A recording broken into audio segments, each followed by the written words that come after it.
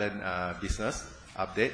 Uh, today, I think we are we are going to showcase our Malaysia DSG Malaysia uh, business update. Yeah. So to give uh, the investor as well as shareholder a perspective of how how we uh, what we have done in Malaysia market. Yeah. And then we will finish off with the Q&A session. Uh, DSG was established as a limited company in 1994 and we have registered as DSG International Thailand Private Limited uh, in 2014. In 2006, we are listed in the Stock Exchange of Thailand.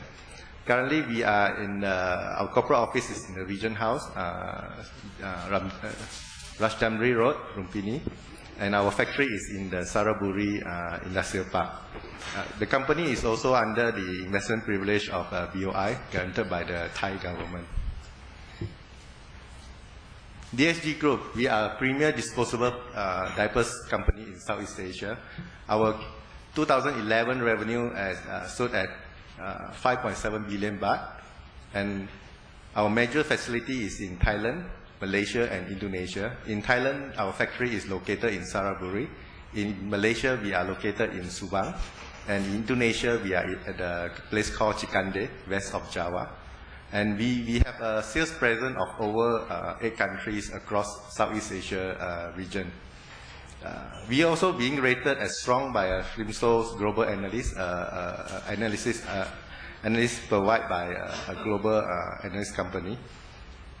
In Thailand, our Baby Love and Certainty brand is a key brand in, in, in, in the in Thailand market. Baby Love basically is number two brand in the baby diapers uh, category, and we are very we are strong number one brand in term of, uh, for certainty in adult diapers category. PetPet and Base, Fitti Basic is uh, is uh, number two brands in Malaysia, and total uh, total employee for DSG Group is basically about close to 700 staff. We, we have a major uh, present in three major locations. In Thailand, we have Baby Love brand, which is we participate in the premium segment, and and we have uh, uh, uh introduced our Baby Love night pants and night tape in last year, and and also we have a certainty for adult diapers.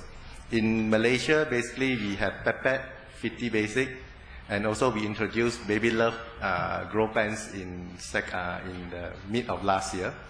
And we also have certainty in, uh, in adult uh, diapers category in Malaysia. In Indonesia, basically we have Fitti and uh, Baby Love for our baby diapers category and certainty for adult diapers category. In terms of revenue, basically we are, in terms of uh, revenue split by country, uh, the, the, almost 95% of our revenue is actually derived from uh, Malaysia and also Thailand. With Thailand contributed uh, close to 55% and Malaysia basically uh, contribute about 40%. And the balance is from Indonesia and also Singapore. Indonesia at this point is still, uh, is still quite small. It's about close to 3%. On the revenue split by category, about 83% of our total uh, revenue is actually from baby diapers category, with 61% actually contributed from baby, uh, baby tape uh, category and 22% from our pants category. While the balance of 17% of our total revenue actually uh, from adult diapers. Next, uh, I'll pass it to uh, Mr. Ambrose Chan for business performance review and our strategic focus. Thank you, Chong. I'm pleased to report right, our uh, record sales, 5.7 billion, represented about 31.5% growth versus, versus uh, previous year. And the growth rate is about twice the industry growth rate. That means that we gained significant market share last year. And as we, uh, Actual has mentioned, clearly it's driven by the brand performance of Baby Love and Pet Pet in Malaysia and, and Thailand business. Certainly, uh, I think we remain the number one in the adult incontinent markets in Thailand, but growing very fast in other markets as well. Because of the flood situation affecting every walk of life uh, in Thailand in the last quarter uh, of 2011, and according to the uh, general accepted uh, accounting principle, we have to report uh, a write-off. We have make a provision for the stock damage, mainly in the last quarter of last year. Therefore, the reported net profit dropped by 44.6%. And all, all the losses, right, I think we are under um, our company policy, which is uh, always insurance. However, we are not alone. I think probably uh, at least a million cases right, being conducted in the country. And that the final settlement is being assessed and negotiated with the insurer. And we, we hope it will be uh, settled uh, in the coming uh, months. In addition to the flood, uh, again, I think uh, as an industry globally, uh, we were subject to fluctuating raw material price variance.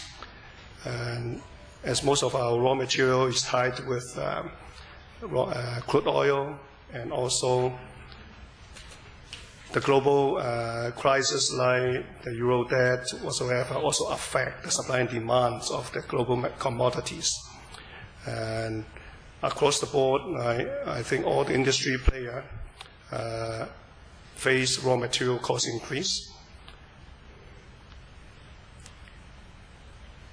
After accounting for the flood uh, reporting uh, laws, what we look at the so-called normalized, right, without the flood effect, our revenue growth actually is about 10% over previous year, which is lower than the revenue growth. Uh, as I mentioned, is factored into the raw material cost increase, which we could not pass on the consumer. Right? The overall group performance um, Overall, over the uh, past years, uh, we believe the group had built a solid foundation for long-term sustainable growth. We had been and will continue to invest in product innovation, driving, that is the, really the main source of growth other than geographic diversification. Last year, in the middle of last year, we introduced new products in Thailand and Malaysia, which is a line extension of the Night product, which is a superior product uh, provide uh, for the consumer. In addition, in Malaysia, we roll out pens product. Grow Pen is a uh, new uh, is a economy pens which ans- which answer the needs of the uh, Malaysian consumer as we have been doing, and definitely it is a never-ending process. We have to continuously improve our supply chain process to make sure our product quality, our manufacturing efficiency, productivity keep improving. Because I think that will affect the profitability of our long-term business.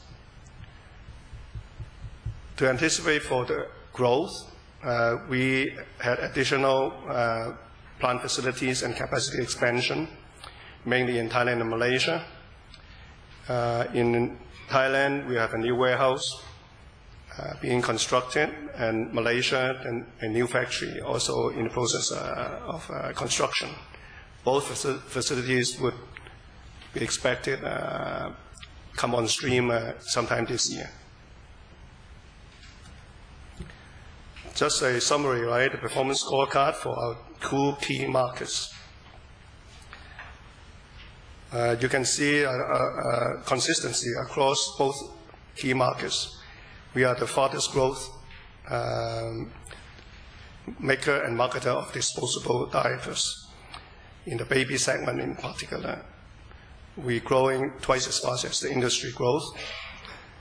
And also in both markets, our baby uh, diapers, we are strong number two.